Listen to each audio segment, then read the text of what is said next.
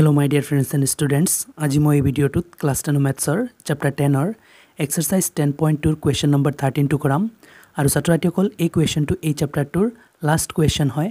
আৰু ইয়াৰ আগৰ সকলোকেইটা exercise question উদাহৰণ আৰু উপপাদ্য সকলোখিনি মই কৰাই দি দিছোঁ। যিখিনি লিংক তোমালোকে এই ভিডিঅ'টোৰ ডিছক্ৰিপশ্যনতো পাই যাবা আৰু প্লে'লিষ্টত গৈও চাব পাৰা। এতিয়া অহা কুৱেশ্যনটো ষ্টাৰ্ট কৰোঁ চোৱা কুৱেশ্যনে কি কৈছে। প্ৰমাণ কৰা যে এটা বৃত্তক স্পৰ্শ কৰি থকা এটা চতুৰ্ভুজৰ বিপৰীত বাহুবোৰে বৃত্তটোৰ কেন্দ্ৰত সন্মুখকৈ সম্পূৰক কোণ কৰে। এতিয়া ছাত্ৰ ছাত্ৰীসকল কুৱেশ্যনটো কি কৈছে মই ভালদৰে বুজাই আছোঁ। চ' কুৱেশ্যনটোৱে আমাক কৈছে প্ৰথমতে এটা বৃত্তক স্পৰ্শ কৰাকৈ এটা চতুৰ্ভুজৰ কথা। সেইকাৰণে চোৱা এটা বৃত্তক স্পৰ্শ কৰাকৈ এটা চতুৰ্ভুজ আঁকা হৈছে। চ' মই নাম ধৰি লওঁ অকেন্দ্ৰযুক্ত বৃত্তটোক এ বি চি ডি চতুৰ্ভুজটোৱে ইফালে পি কিউ আৰ আৰু এছ বিন্দুত স্পৰ্শ কৰিছে। চোৱা এ বি চি ডি চতুৰ্ভুজে পি কিউ আৰ আৰু এছ বিন্দুত স্পৰ্শ কৰিছে বুলি মই ধৰি লৈছোঁ। এতিয়া আমি প্ৰমাণ কৰিব লাগে বিপৰীত বাহুবোৰে বৃত্তটোৰ কেন্দ্ৰত সন্মুখকৈ সম্পূৰক কোণ কৰে। মানে এই বিপৰীত বাহু চোৱা এ বি ডি চি বিপৰীত বাহু এই দুটাই কেন্দ্ৰত সন্মুখকৈ সম্পূৰক কোণ কৰে মানে ওৱান এইট্টি ডিগ্ৰী কোণ কৰে। আৰু ইফালে বিপৰীত বাহু হৈছে বি চি আৰু এ ডি এই দুটাইও কেন্দ্ৰত সন্মুখকৈ সম্পূৰক কোণ কৰে মানে ওৱান এইট্টি ডিগ্ৰী কোণ কৰে বুলি আমি প্ৰমাণ কৰিব লাগে। তেনেহ'লে ছাত্ৰীসকল চোৱা এই বিপৰীত বাহুবোৰে কেন্দ্ৰত কেনেকুৱা কোণ কৰিব চোৱা সন্মুখকৈ। চোৱা এই এ বি বিপৰীত বাহুৱে কোণ কৰিব এনেকুৱা। এই এ অ ইফালে বি অ' জইন কৰি দিলে। চোৱা এই এ বি বাহুৰ দ্বাৰা গঠন হোৱা কোণ হৈছে ইফালে ডি চিৰ দ্বাৰা গঠন হোৱা কোণ কেনেকুৱা হ'ব ডি অ' আৰু চি অ' জইন কৰি দিলে। চোৱা এই বিপৰীত বাহুৰ দ্বাৰা গঠন হোৱা কোণ হৈছে। এতিয়া আমি প্ৰমাণ কৰিব লাগে এই বিপৰীত বাহু দুয়োটাই গঠন কৰা কোণ দুয়োটাই মিলি পেলাই ওৱান এইট্টি ডিগ্ৰী মানে মিলি পেলাই সম্পূৰক কোণ হয়। এইটো আমি প্ৰমাণ কৰিব লাগে। একেদৰে চোৱা এই দুটা বিপৰীত বাহুৱেও চোৱা এইটো বাহুৱে এইটো কোণ কৰিছে এইটো বাহুৱে এইটো কোণ কৰিছে। তেনেহ'লে এই দুটা বিপৰীত বাহুৱে কৰা কোণ এই দুটা। এই দুটাইও মিলি পেলাই ওৱান এইট্টি ডিগ্ৰী হ'ব লাগে অৰ্থাৎ সন্মুখকৈ সম্পূৰক কোণ হ'ব লাগে আমাক প্ৰমাণ কৰিবলৈ কৈছে। তেনেহ'লে মই ছাত্ৰ ছাত্ৰীসকল এইখিনি কেনেকুৱা প্ৰমাণ কৰিম? চোৱা বিপৰীত বাহুবোৰে কেন্দ্ৰত সন্মুখকৈ সম্পূৰক কোণ কৰে কেনেকুৱা প্ৰমাণ কৰিম মই এ বি আৰু ডি চি বিপৰীত বাহু দুটাই গঠন কৰা কোণ এই দুটা এই দুটাই মিলি পেলাই ওৱান এইট্টি ডিগ্ৰী কোণ কৰে বুলি মই প্ৰমাণ কৰিম।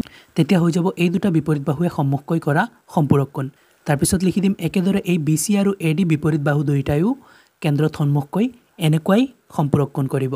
তেনেহ'লে ছাত্ৰ ছাত্ৰীসকল আহা এই দুটাই আমি দেখুৱাই দিওঁ যে মিলি পেলাই ওৱান এইট্টি ডিগ্ৰী এই যে কোন দুটা কৰিছে এই দুটাই মিলি পেলাই ওৱান এইট্টি ডিগ্ৰী হয়। আৰু এইখিনিৰ কাৰণে ছাত্ৰ ছাত্ৰীসকল আমি কিছু অংকন কৰিব লাগিব। ইফালে অ' কিউ জইন কৰিব লাগিব। ইফালে অ' পি জইন কৰিব লাগিব। ইফালে অ' এছ জইন কৰিব লাগিব। ইফালে অ' আৰ জইন কৰিব লাগিব। এই যিখিনি জইন কৰিছোঁ এইখিনি আমি অংকনত লিখি দিম। চোৱা অ' পি কমা অ' কিউ কমা এই অ' আৰ আৰু এই অ' এছ সংযোগ কৰা হ'ল। এইখিনি মই লিখিছোঁ। এতিয়া আমি প্ৰমাণ কৰিম। কি প্ৰমাণ কৰিব লাগে এইটো এবাৰ লিখি লওঁ। চ' ছাত্ৰ ছাত্ৰীসকল যি প্ৰমাণ কৰিব লাগে সেইটো লিখিবৰ কাৰণে মই ইয়াতে লিখি লৈছোঁ প্ৰমাণ কৰিব লাগে যে প্ৰমাণ কি কৰিব লাগে? বিপৰীত বাহুবোৰে কেন্দ্ৰত সন্মুখকৈ সম্পূৰক কোণ কৰে। মানে এই বিপৰীত বাহু দুয়োটাই কেন্দ্ৰত সন্মুখকৈ যে কোণ কৰিছে এই দুটা সম্পূৰক হ'ব লাগে। মানে এই দুয়োটাই মিলি পেলাই ওৱান এইট্টি ডিগ্ৰী হ'ব লাগে। তেনেহ'লে লিখোঁ এইটো কোণ কেনেকুৱা? এ অ' বি আৰু এইটো কোণ কেনেকুৱা? চি অ' ডি এই দুটাই মিলি পেলাই ওৱান এইট্টি ডিগ্ৰী হ'ব লাগিব। তেনেহ'লে এনেকুৱা হ'ব যে angle A O' B plus এইটো C O' D angle C O' D মিলি পেলাই ওৱান এইট্টি ডিগ্ৰী ইফালে এই দুটা বিপৰীত বাহুৱেও কেন্দ্ৰত সন্মুখকৈ সম্পূৰক কোণ গঠন কৰে মানে এই দুটাই মিলি পেলাই ওৱান এইট্টি ডিগ্ৰী হ'ব লাগে। তেনেহ'লে এইটোৱে কৰা কোণ কেনেকুৱা? B O' C angle B O' C plus এইটোৱে কৰা কোণ কেনেকুৱা? A O' D angle A O' D equal one eighty degree এতিয়া ছাত্ৰ ছাত্ৰীসকল মই এইটো দেখুৱাম। দেখুৱাই পেলাই ক'ম একেদৰে এইটো হৈ যাব। তেনেহ'লে ছাত্ৰ ছাত্ৰীসকল আহা প্ৰমাণ কৰোঁ। ছাত্ৰ ছাত্ৰীসকল এইটো প্ৰমাণ কৰিবৰ কাৰণে চোৱা এই এংগেলবোৰক মই কিবা এটা নাম দি দিওঁ এই যে একো একোটা এংগেল বনিছে তেনেহ'লে ইয়াৰ পৰা ষ্টাৰ্ট কৰোঁ। এইটোক মই এংগেল ওৱান এইটোক এংগেল টু এইটোক এংগেল থ্ৰী এইটোক ফ'ৰ এইটোক ফাইভ এইটোক ছিক্স এইটোক ছেভেন আৰু এইটোক এইট নাম দি দিওঁ। এতিয়া ছাত্ৰ ছাত্ৰীসকল এই দুটা সমান এই থ্ৰী আৰু ফ'ৰ সমান এই ফাইভ আৰু ছিক্স সমান এই ছেভেন আৰু এইট সমান বুলি আমি প্ৰমাণ কৰিব লাগিব। তেনেহ'লে ছাত্ৰ ছাত্ৰীসকল প্ৰমাণ কৰি আছোঁ চোৱা। চোৱা এই দুটা ত্ৰিভুজ মই সৰ্বাসম কৰি দিম। সৰ্বাসম ত্ৰিভুজৰ অনুৰূপ কোণ সমান হিচাপে? ওৱান আৰু টু সমান হৈ যাব। তাৰপিছত একেদৰে এই দুটা সৰ্বাসম কৰিলে থ্ৰী আৰু ফ'ৰ সমান হ'ব। মই এই দুটা সৰ্বাসম কৰাৰ পিছত এইবোৰ আৰু সৰ্বাসম নকৰোঁ। কৈ দিম একেদৰে থ্ৰী আৰু ফ'ৰ সমান যেনেকুৱা ওৱান আৰু টু সমান হ'ব। একেদৰে ফাইভ ছিক্স সমান হ'ব। একেদৰে ছেভেন এইট সমান হ'ব। তেনেহ'লে কৰি আছোঁ চোৱা। প্ৰথমতে চ' ওৱান আৰু টু সমান কৰিবলৈ ত্ৰিভুজ কোন দুটা ল'ব লাগিব? ওৱান কোণ থকা ত্ৰিভুজ হৈছে এ এছ অ' আৰু টু কোণ থকা ত্ৰিভুজ হৈছে এ পি অ' এই দুটা ত্ৰিভুজৰ পৰা মই লিখি লওঁ। চ' ছাত্ৰ ছাত্ৰীসকল লিখি লৈছোঁ। এতিয়া এই দুটা সৰ্বাসম কৰিবলৈ হ'লে ছাত্ৰ ছাত্ৰীসকল আমি যিকোনো তিনিটা বস্তু মিলাব লাগিব। তিনিটা বাহু বা তিনিটা কোণ তেনেহ'লে আমি বাহু মিলাম। চোৱাচোন কেনেকুৱা। A S O' A S O' ত্ৰিভুজৰ A S বাহুটো এ পি অ' ত্ৰিভুজৰ এ পি বাহুৰ লগত সমান। লিখি লওঁ তাৰপিছত কিয় সমান মই বুজাই আছোঁ। এ এছ ইকুৱেল হ'ব এ পি এতিয়া ৰিজনতো দি দিম আৰু বুজাই ল'ম চোৱা। আমি জানো চোৱা বহীবিন্দুৰ পৰা টনা স্পৰ্শকবোৰ সমান। মানে একে বহীবিন্দুৰ পৰা টনা। তেনেহ'লে এ বহীবিন্দুৰ পৰা টনা স্পৰ্শক হৈছে এ পি আৰু এ এছ সমান হ'ব নহয়? সেই হিচাপে। তেনেহ'লে ইয়াতে লিখিম বহীবিন্দুৰ পৰা টনা স্পৰ্শক। এতিয়া ছাত্ৰ ছাত্ৰীসকল এটা মিলি গ'ল বহীবিন্দুৰ পৰা টনা স্পৰ্শক হিচাপে। আৰু এটা চোৱা এই এ এছ অ'ত এ অ' আছে আৰু এ পি অ'টো এ অ' আছে সাধাৰণ বাহু হিচাপে। তেনেহ'লে লিখি লওঁ এইটোৰো এ অ' আছে ইকুৱেল সেইটোৰো এ অ' আছে। কি হিচাপে আছে? সাধাৰণ বাহু। এতিয়া ছাত্ৰ ছাত্ৰীসকল দুটা মিলি গৈছে ত্ৰিভুজ দুয়োটাৰ এতিয়া আৰু এটা লাগে। আৰু এটা চোৱা। এ এছ অ' ত্ৰিভুজৰ অ' এছ আৰু A P O ত্ৰিভুজৰ O P সমান। কিয় সমান ছাত্ৰ ছাত্ৰীসকল চোৱা? অ' এছটো এই বৃত্তটোৰ ব্যাসাৰ্ধ আৰু অ' পিটোও এই বৃত্তটোৰ ব্যাসাৰ্ধ। তেনেহ'লে ব্যাসাৰ্ধটো সমান হ'ব। সেইকাৰণে চোৱা এইটো ত্ৰিভুজৰ অ' এছ আৰু সেইটো ত্ৰিভুজৰ অ' পি সমান। কাৰণ কি একে বৃত্তৰ ব্যাসাৰ্ধ দুয়োটা। এতিয়া ছাত্ৰ ছাত্ৰীসকল চোৱা দুয়োটা ত্ৰিভুজৰ তিনিটা তিনিটা বাহু মিলি গৈছে গতিকে ত্ৰিভুজ দুয়োটা সৰ্বাসম হৈ গৈছে। লিখিলোঁ এতেকে ত্ৰিভুজ এ এছ অ সৰ্বাসম হৈছে ত্ৰিভুজ এ পি অৰ লগত। কি চৰ্তমতে হৈছে ছাত্ৰ ছাত্ৰীসকল তিনিওটা ছাইড মিলিছে? গতিকে ছাইড ছাইড ছাইড সৰ্বসমতাৰ ধৰ্মমতে বা ইমানতে ৰাখিলে হ'ল। এতিয়া যিহেতু ছাত্ৰ ছাত্ৰীসকল এই ত্ৰিভুজ দুটা সৰ্বাসম ইয়াতে প্ৰমাণ হৈ গৈছে। তেনেহ'লে আমি জানো ছাত্ৰ ছাত্ৰীসকল সৰ্বাসম ত্ৰিভুজৰ অনুৰূপ কোণ আৰু বাহু চব সমান থাকে। তেনেহ'লে আমাৰ চব নালাগে ওৱান আৰু টু সমান লাগে তেনেহ'লে ওৱান আৰু টু সমান হৈ যাব। এইটো ত্ৰিভুজৰ এংগেল ওৱান সেইটো ত্ৰিভুজৰ এংগেল টু সমান। কি মতে হয় ছাত্ৰ ছাত্ৰীসকল চি পি চি টি মতে এইটো তোমালোকে ক্লাছ নাইনত ভালদৰে পাই আহিছা। এতিয়া ছাত্ৰ ছাত্ৰীসকল আৰু নিলিখোঁ যে এই দুটা সৰ্বাসম কৰি পেলাই থ্ৰী ফ'ৰ এতিয়া লিখি দিম একেদৰে থ্ৰী আৰু ফ'ৰ সমান একেদৰে ফাইভ আৰু ছিক্স সমান ছেভেন আৰু এইট সমান। এইখিনি আমি লিখি দি আছোঁ একেদৰে ছ' ছাত্ৰ ছাত্ৰীসকল লিখিলোঁ একেদৰে। একেদৰে কি হ'ব? থ্ৰী আৰু ফ'ৰ সমান হ'ব ইয়াতে লিখি দিওঁ। Angle three equal angle four তাৰপিছত একেদৰে এংগেল ফাইভ আৰু ছিক্স সমান হ'ব। ইয়াতে লিখি দিওঁ এংগেল ইয়াতে লিখি দিওঁ angle five equal angle six তাৰপিছত ছাত্ৰ ছাত্ৰীসকল একেদৰে ছেভেন আৰু এইট সমান হ'ব গতিকে ইয়াতে লিখি দিওঁ angle seven equal angle eight so' আকৌ এবাৰ বুজি লোৱা ছাত্ৰ ছাত্ৰীসকল ওৱান আৰু টু চোৱা ইয়াতে মই সমান বুলি প্ৰমাণ কৰিছোঁ। একেদৰে থ্ৰী আৰু ফ'ৰ সমান একেদৰে ফাইভ আৰু ছিক্স সমান একেদৰে ছেভেন আৰু এইট সমান বুলি ইয়াতে আমি লিখি লৈছোঁ।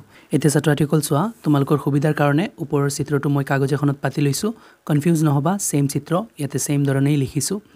এতিয়া চোৱা এই যে one two three four five six seven eight এই আঠটা কোণ আঠোটা কোণে মিলি পেলাই কিমান হ'ব? থ্ৰী ছিক্সটি ডিগ্ৰী হ'ব। কাৰণ এটা বৃত্ত কাবাৰ কৰি আছে এটা বৃত্ত তিনিশ ষাঠি হয়। এইখিনি আমি লিখি লওঁ। Angle one plus angle two plus angle three plus angle four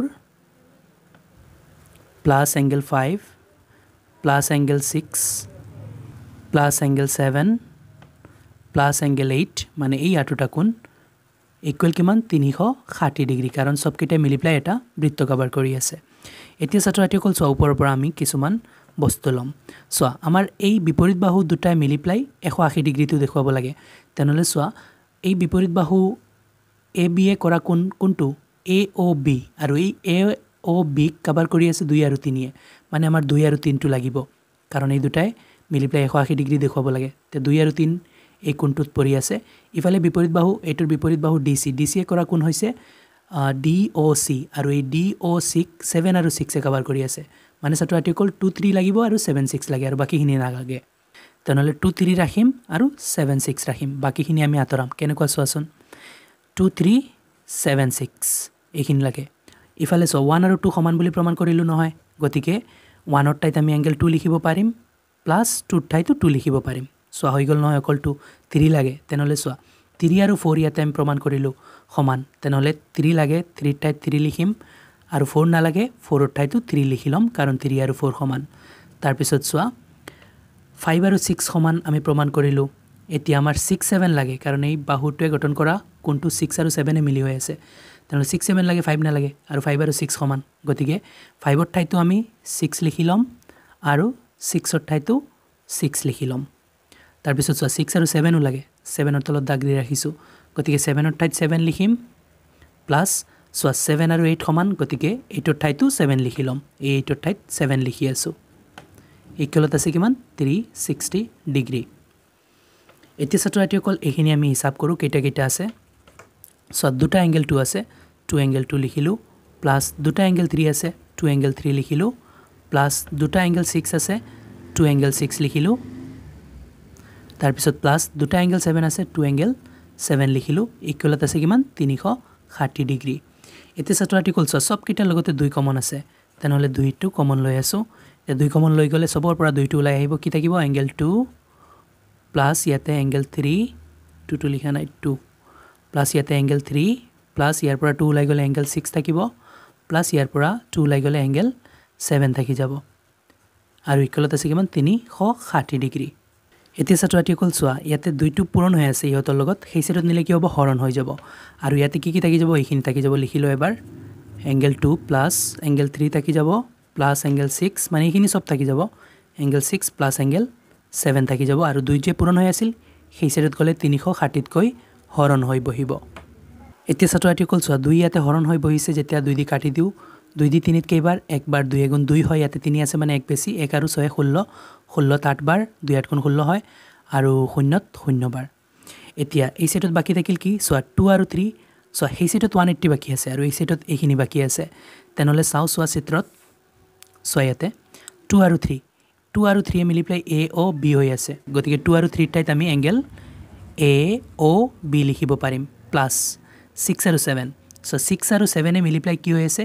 এই গোটেই কোণটো গঠন কৰি আছে। তেনেহ'লে এই কোণটোক আমি কেনেকুৱা লিখিব পাৰিম?